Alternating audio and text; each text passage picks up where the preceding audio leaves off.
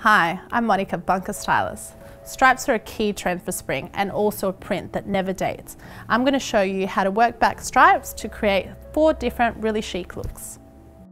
The striped pants are very dressy, with it being a silk crop flare, so I wanted to style it back with a dressy top, giving it a real high fashion feel.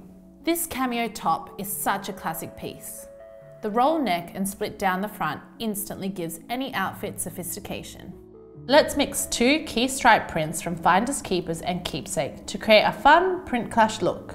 Tuck the top into the beautiful Keepsake geoprint skirt and fluff it out a bit for waist definition. This outfit doesn't need much more, as the prints do so much of the talking, but add just a few accessory touches and your print clash look is ready to go. If you find a classic nautical print, you can pair it back with almost any colour. These Finders Keepers terracotta pants fit like a dream and the colour is an absolute standout.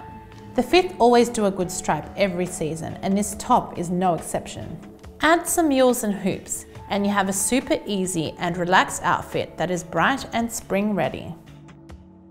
Here is another stripe from the fifth, in a really cute mini dress. It's such an easy throw-over piece to wear that is perfect for those warm sunny days. As you're wearing the dress as your main piece, you need to focus on cool accessories that will make the outfit pop.